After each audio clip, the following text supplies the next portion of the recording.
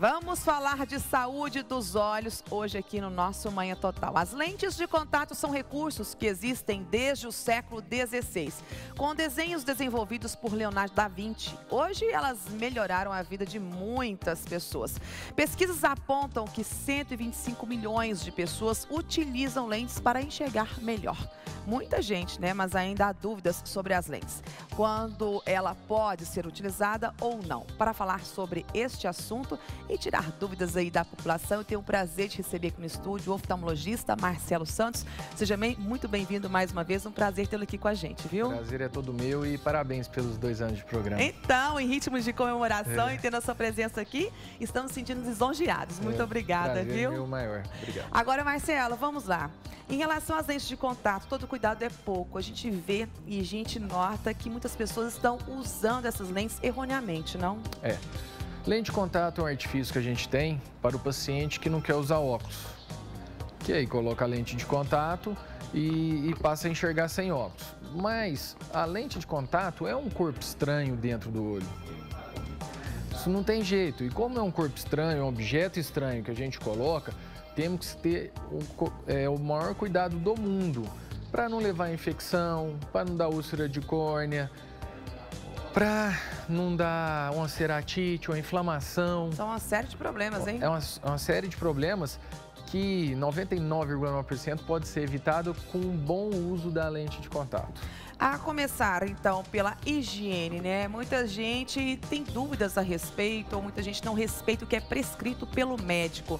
A higienização também é um fator preponderante para a saúde dos olhos quando alguém usa lente, não? Muito. O oftalmologista, quando você vai lá e usa uma lente de contato, ele te orienta a colocar, a tirar e a higienizar. É, e isso tem que ser seguido a regra. Porque tem gente, por exemplo, que está num bar, a lente de contato saiu. Aí ela pega, limpa com a saliva, ou vai na água da torneira e limpa. Isso não pode de maneira nenhuma, porque pode levar bichos aos olhos que depois pode até ir para um transplante de córnea, por exemplo, pegando o caso mais grave. Olha só, né? A orientação e o alerta do Dr. Marcelo. Nós temos outra foto aqui, eu quero pedir para colocar no ar. A colocação da lente também tem todo um critério, não tem, doutor Marcelo? Tem. Primeiro faz aí, ela já é guardada num recipiente uhum. próprio, próprio, né? É, com líquido próprio, orientado pelo oftalmologista. Aí você tira a lente, abre a pálpebra e é, é obrigação do seu oftalmologista te orientar direitinho. Você só pode sair do consultório do oftalmologista sabendo colocar e tirar. Uhum. E aí faz o movimento, em frente ao espelho melhor e, e, coloca com as mãos lavadas, por Sempre favor. Higienizadas. Sempre higienizadas. Nós temos mais uma foto que eu quero colocar na tela aqui, por gentileza, Gabriel. O colírio também é indicado, é necessário? Isso. Aí vai depender do olho do paciente. Tem alguns olhos que são mais secos. Aí a lente gruda na córnea e pode machucar. Então, às vezes, ou na grande maioria das vezes, a gente passa um colírio lubrificante. Só que tem que ser o colírio específico, não é qualquer colírio. O paciente acha muito que os colírios são todos iguais e não são. Eu falo que os colírios são igual remédio. Você tem antibiótico, você tem anti-inflamatório, você tem uma, analgésico, você tem uma gama de, de remédios igual tem de colírio. Mais e, importante que vem com prescrição médica. Com pre, 100%. Tá certo. Vamos às perguntas, então? a gente tem participação dos internautas. Vamos à primeira na tela, por favor. De quanto em quanto tempo devo trocar minhas lentes de contato? A pergunta é da Renata Araújo, bairro Matias, aqui da cidade de Uberlândia. E aí, doutor Marcelo? As tem lentes... um tempo de validade? Tem, tem. As lentes de contato, vamos falar das gelatinosas. Tem a rígida e a gelatinosa. A gelatinosa tem dois tipos. Um manual, que você troca uma vez ao ano, uhum. e a outra é, troca todo mês. Inclusive, é bom ressaltar que essa que troca todo mês, que fala descartável, o fabricante fala que pode dormir 30 dias com a lente. Eu oriento meus pacientes para não dormir nenhum dia com a lente. Sempre tirar a lente para dormir. Mesmo porque quando você está dormindo, você não precisa da lente para enxergar. É verdade. Deixa o olho descansar. Isso. E aí por quê? Porque quando você não pisca, o olho resseca e também diminui a passagem de oxigênio para o olho. Isso pode levar a alguns danos na córnea. Tá certo. A próxima pergunta, vamos lá?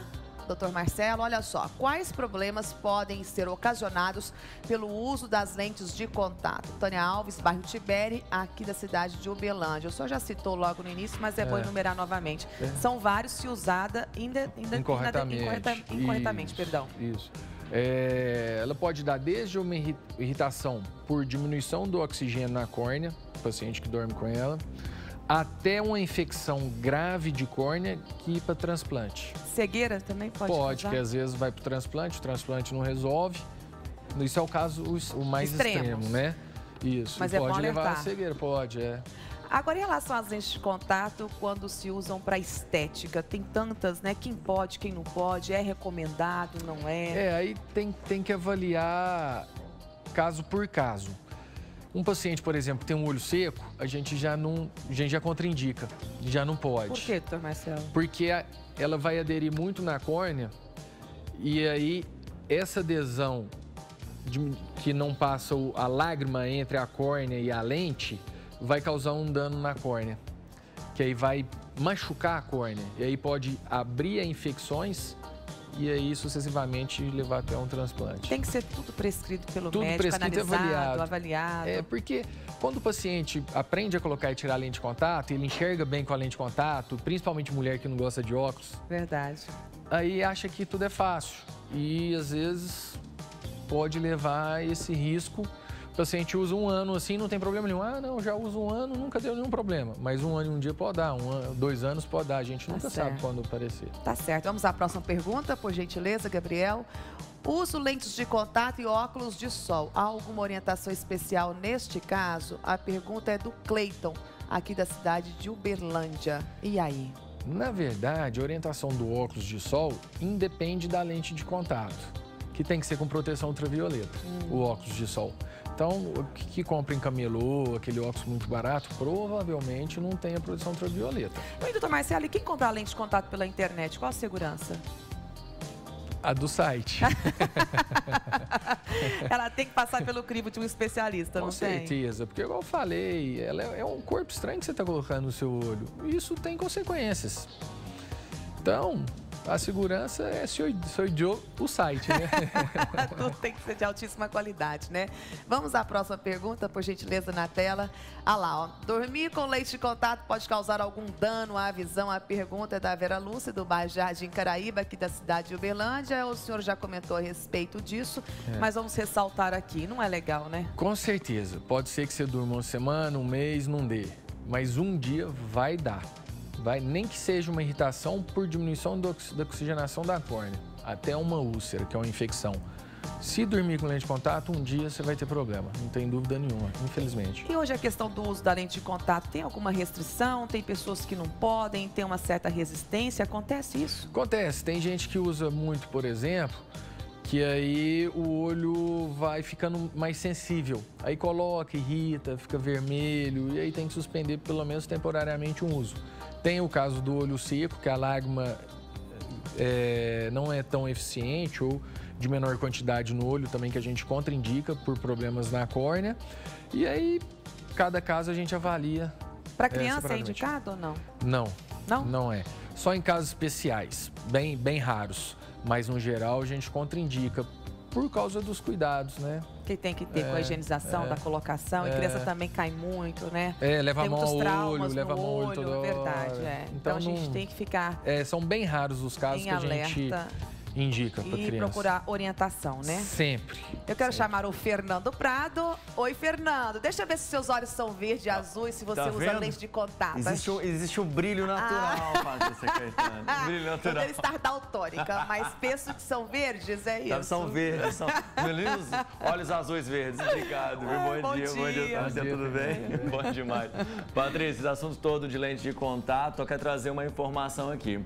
Os primeiros estudos sobre lentes de contato são são bastante antigos. Olha só, tem uma informação na tela aqui para vocês. Datam de 1508. Eu trouxe essa informação Leonardo. lá no início, Leonardo da Vinci. Olha que interessante, né? Leonardo da Vinci aí, seguido do filósofo Descartes em 1637. E as primeiras lentes são alemãs, feitas de vidro soprado. Ai, ai, ai. E na época, a lente tomava aí grande parte do globo ocular. Imagina só o incômodo. Só a partir da década de 50 é que as lentes foram aprimoradas para o tamanho da córnea, né? Que bom, né? E nós temos aqui, Patrícia, algumas dicas de telespectadores que usam lente de contato. Vamos, vamos trocar essa ideia então também com o doutor Marcelo. Marcelo né? Bom, tem uma que é assim, ó, sempre tenha consigo no carro, na bolsa, no trabalho, uma caixinha de lentes e um produto para lavar as lentes caso seja necessário. Isso é realmente uma boa dica? Ótimo. É o que o exemplo que eu falei da pessoa no bar que não tem é. a caixinha, o produto, ou limpa com a saliva ou vai na água da torneira Nossa, e limpa. Saliva já é isso, demais, aumentando as bactérias naquele local, né? É, é um risco enorme. Então, Nossa. parabéns.